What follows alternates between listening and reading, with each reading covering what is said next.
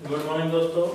मैं Indrajeet Singh Saptawat H P education के माध्यम से आपके लिए जीके की एक श्रृंखला ले, श्रृंखला लेकर आया हूँ, जो कि बिल्कुल निःशुल्क है। और ये उन टीएसपी के छात्रों के लिए भी है, जिन टीएसपी छात्रों को विभिन्न प्रतियोगी एग्ज़ाम के लिए टीएडी विभाग ने चयनित किया है और जिसका कार्य एच पी एजुकेशन को दिया है। इसीलिए आप लोग सभी मिलके कंपटीशन एग्ज़ाम की तैयारी कीजिए। और उसी क्रम में हम बात कर रहे थे, कल हमने कालीबंगा की बात की थी और कालीबंगा की कुछ बातें हम लोगों ने कर ली थी। जैसे जुते हुए खेत, इसकी खोज किसने की, इसका उत्खनन किसने किया, दशरथ शर्मा कालीबंगा के बारे में क्या कहते हैं, स्टुअर्ट पिगट, संपूर्ण सिंधु सभ्यता की कौन कौन सी राजधानियाँ बताते हैं आदि बातों की हमने जुते हुए खेत के प्राचीन साक्ष्य, आदि बातों की जानकारी हमने कल प्राप्त की थी। हम उसी वीडियो को, उसी कालीबंगा को ही वहीं से आगे लेते हुए और क्रमशः आगे बढ़ते हुए उसी की बात करते हैं कि सी फोर्टी एक विधि है, जिसकी जानकारी मैं आपको थोड़ी बहुत यहाँ पे बता दूँ कि सी फोर्टी यानी इसको बोलते हैं कार्बन कार्बन डेटिंग चौदह इस विधि की खोज की है जॉन एफ़ लीवी ने। इंपॉर्टेंट नहीं है आप लोगों के लिए ये इंडियन हिस्ट्री का पार्ट है या वर्ल्ड हिस्ट्री का पार्ट है। फ़र्स्ट ग्रेड में एक बार ये क्वेश्चन आ, चुका है। एक बार एमए के एग्ज़ाम में ये क्वेश्चन पूछा था। जॉन एफ़ लीवी ने इसकी खोज की है जॉन एफ़ लीवी है अमेरिका। और इसकी थ्योरी यह है कि किसी भी ऐसी वस्तु जो कि कभी जीवित रही हो, उसमें कार्बन 12 और कार्बन 14 की मात्रा मौजूद होती है। समय के साथ साथ कार्बन 12 की मात्रा तो एज इट इज़ रहती है, लेकिन कार्बन 14 की मात्रा घटती जाती है।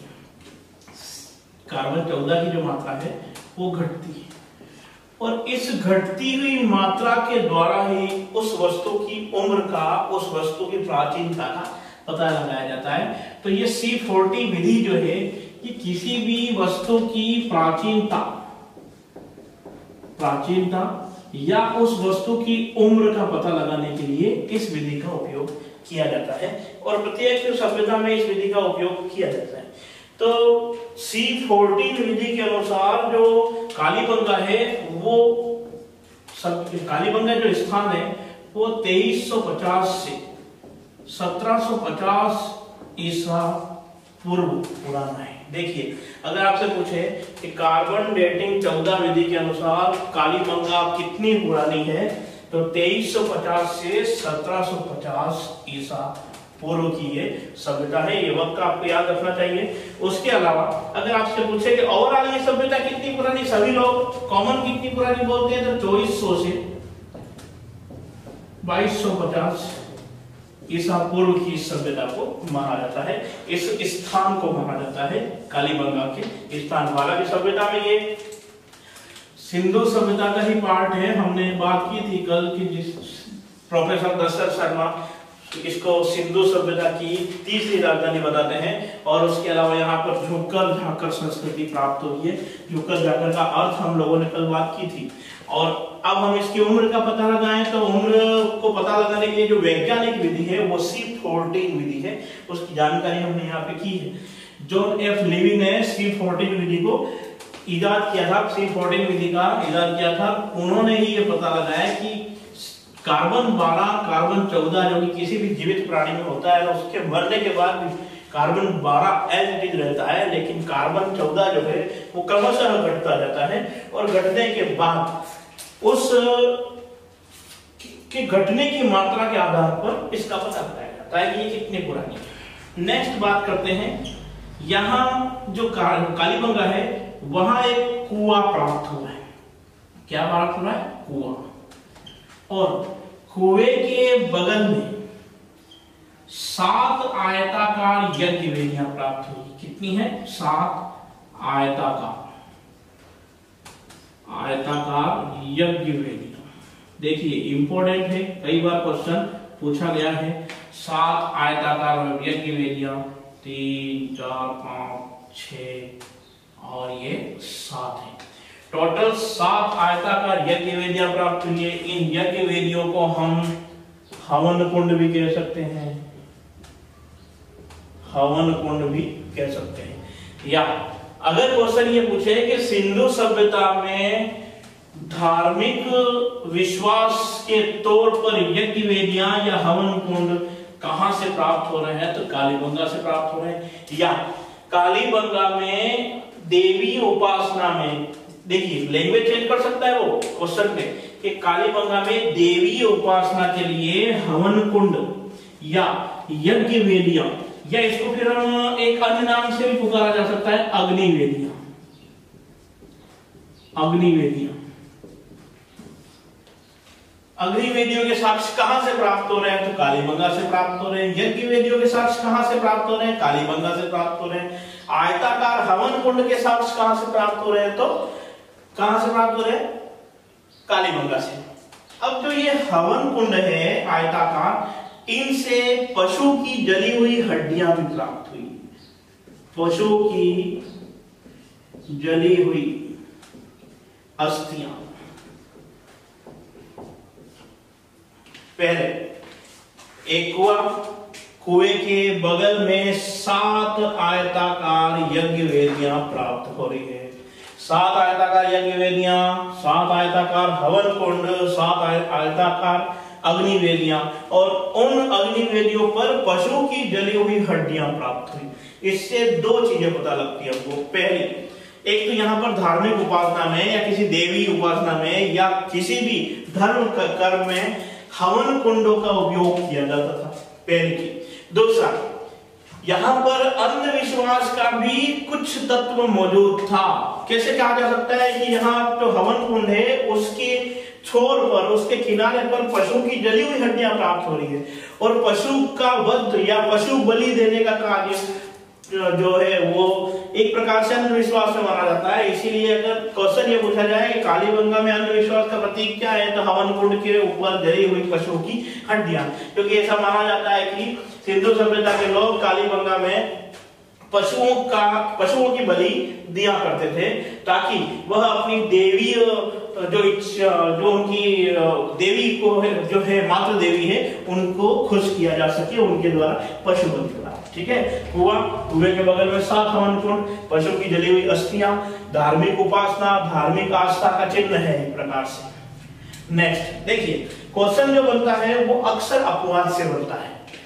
सिंधु सभ्यता जो है, वो मात्र प्रधान सभ्यता है। मात्र प्रधान सभ्यता। कौन सी सभ्यता है? सिंधु सभ्यता।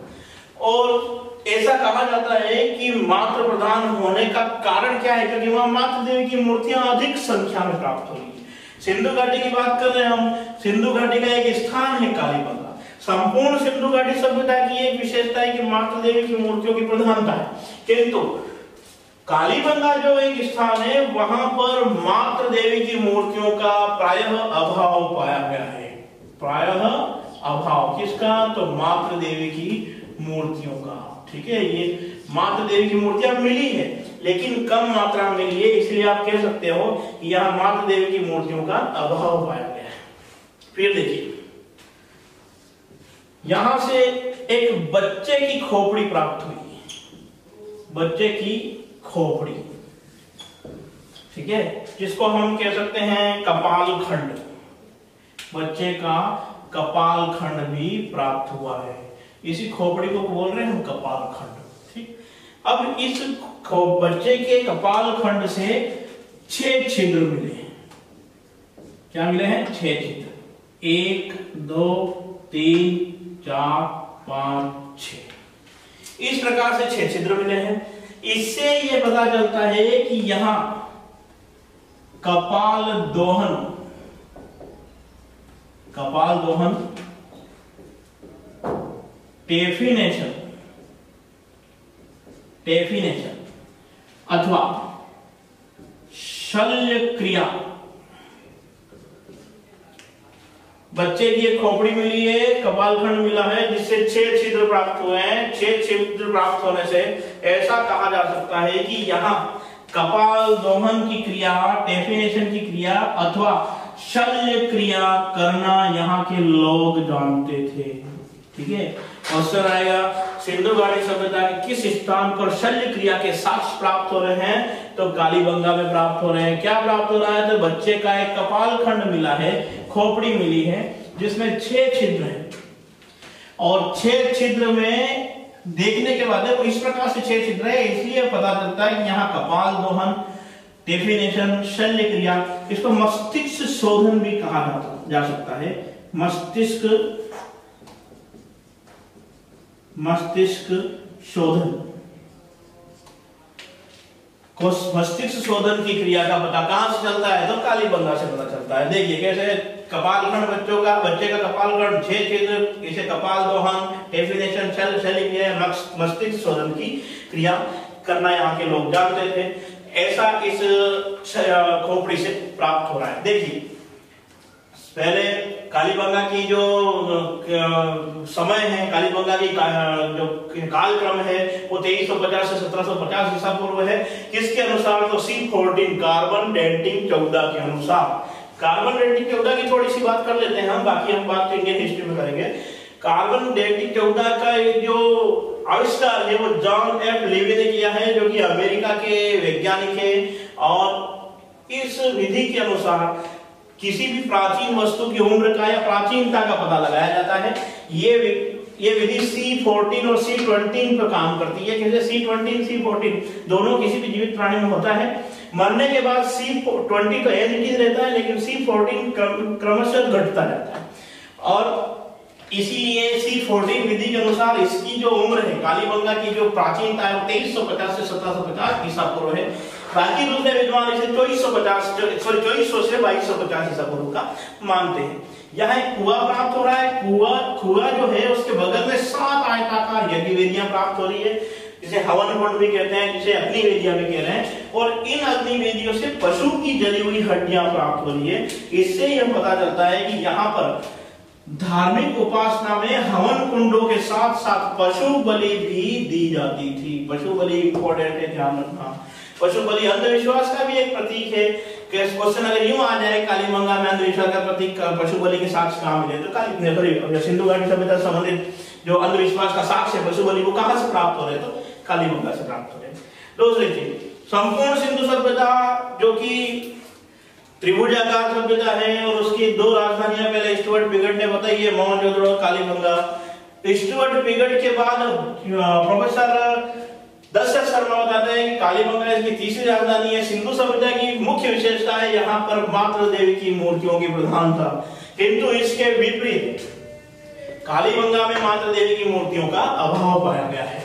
दूसरा, यहाँ एक बच्चे की खोपड़ी प्राप्त हो रही है, कपालखंड प्राप्त हुआ। खोपड़ी को हमने कपालखंड कहा है। कई बार कपालखंड शब्द का इस्तेमाल किया जाता है, जिसमें छह छिद्र हैं। इससे पता चलता है कि यहाँ पर कपाल दोहन की क्रिया की जाती थी, अथवा टेफिनेशन की क्रिया की जाती थी, अथवा शल्य क्रिया की जाती थी, अथवा मस्तिष्क शोधन का कार्य यहाँ पर किया जाता था। इसका एक स्क्रीन ले लीजिए, उसके बाद हम आगे बढ़ते हैं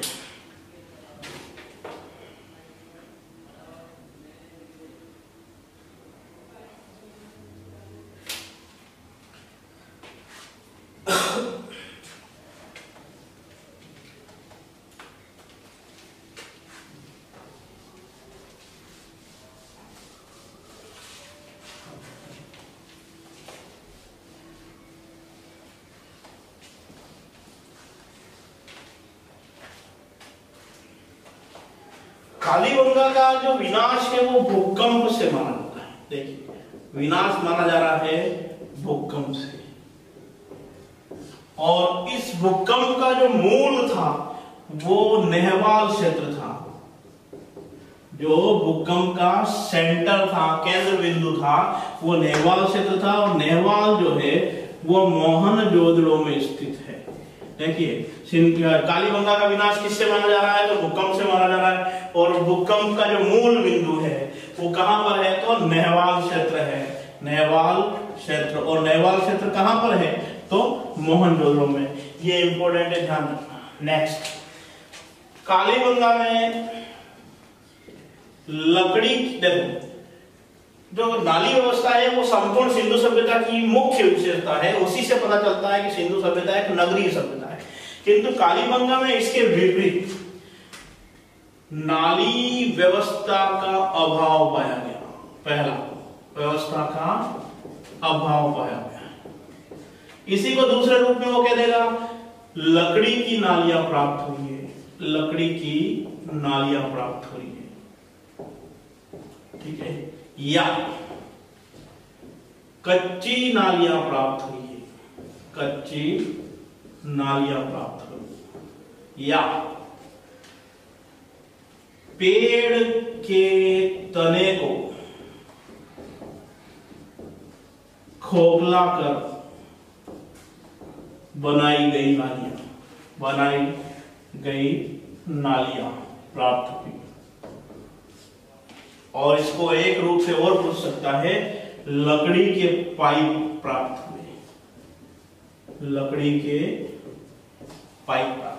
देखिए विनाश भूकंप से निर्माण क्षेत्र जो इनका सेंटर है, नाली व्यवस्था का अभाव है, जबकि संपूर्ण सिंधु सभ्यता में नाली व्यवस्था प्रॉपर है। लेकिन यहाँ पर अभाव है और नाली है भी तो कच्ची है, लकड़ी की है, और उसके अलावा उसे पेड़ के तने को खोखला करके बनाई गई नालियाँ हैं, या लकड़ी के पाइप है, ऐसा कहा जाता है। इसीलिए यहाँ पर नाली व्यवस्था का लगभग लगभग अभाव पाया गया है।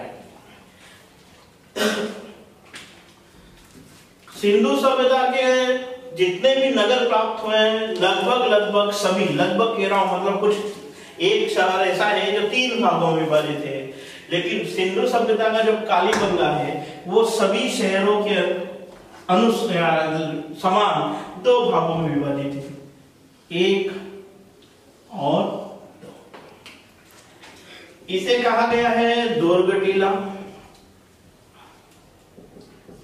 या। पश्चिमी टीला,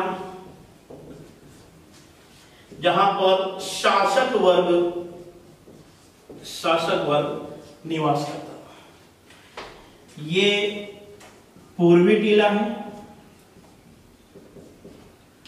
इसी को बोलते हैं निचला। नगर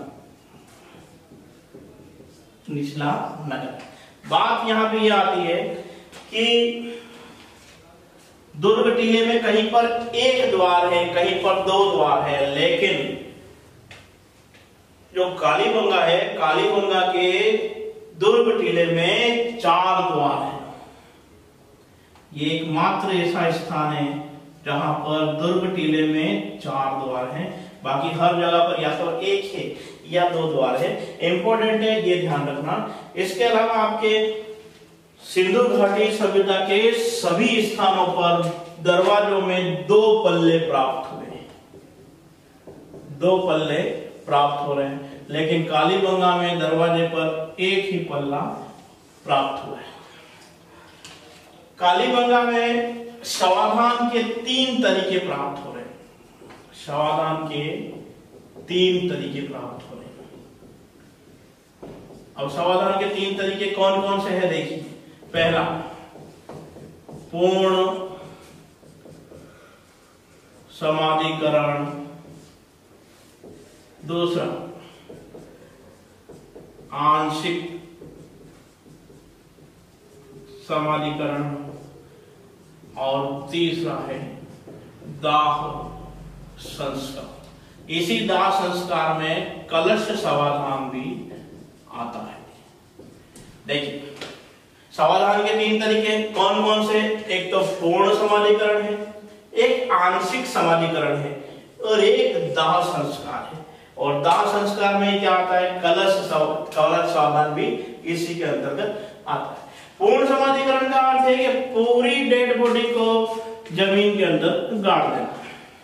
आंशिक समाधिकरण का अर्थ यह है कि डेड बॉडी को एक पहाड़ी पर ले जाके रख देना और उसके बाद उसे जितना भी चील को हुए खाना चाहे खा जाए और उस जो अस्थियाँ बचती है, उन अस्थियों को एक गड्ढा खोद के गाड़ तीसरा है दाह संस्कार, कि डेड बॉडी को शव को जला देना और इसी दाह संस्कार के अंतर्गत होता यह है कि कुछ लोग तो केवल दाह संस्कार कर देते थे, कुछ लोग क्या करते थे?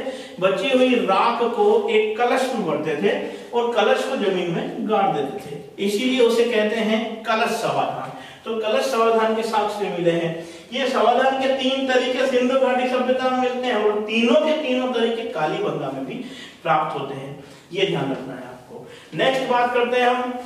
कालीबंगा से एक अंडाकार कब्र प्राप्त हुई। कैसी कब्र प्राप्त हुई? अंडाकार। तो आपको पता होना चाहिए कि अंडाकार कब्र कहाँ से प्राप्त हो रही है? तो कालीबंगा से प्राप्त हो रही और इसमें जो शव गाड़ा गया है, उसका सिर उत्तर दिशा की ओर है। कालीबंगा में जो सर, जो शव गाड़ा गया है, अंडाकार कब्र में, उसका सिर किस ओर है? तो उत्तर दिशा की ओर है, ये ध्यान रखना। कालीबंगा वो स्थान है जहाँ से पहली बार सड़क को पक्का करने का साक्ष्य प्राप्त हो है। सड़क को पक्का करने का साक्ष्य कहाँ से प्राप्त हो रहा है? कालीबंगा से प्राप्त हो रहा है। उसके अलावा, बेलनाकार, तंदूर हमने बात कर ली है। एक बात और है कि संपूर्ण सिंधु सभ्यता में कहीं पर भी ऊँट के साक्ष्य प्राप्त नहीं हुए हैं। हम इंडियन हिस्ट्री में भी बात करेंगे कि ऊंटों की जो ऊंटों का अंकन है, वो मोहरों से प्राप्त नहीं हुआ है। लेकिन उसके बावजूद ऊंटों की हड्डियों के साक्ष्य प्राप्त हो रहे हैं कालीबंगा से। इंपॉर्टेंट बनता है क्वेश्चन ऊँट की अस्थियों के साक्ष्य कहाँ से प्राप्त हो रहे हैं? कालीबंगा से प्राप्त हुए हैं। ये सब चीज़ें हमको कालीबंगा के अंदर पढ़नी पड़ेगी और इसके बाद का जो उल्लेख है कालीबंगा का जो बस्ता है, उसको हम कल पूरा करेंगे।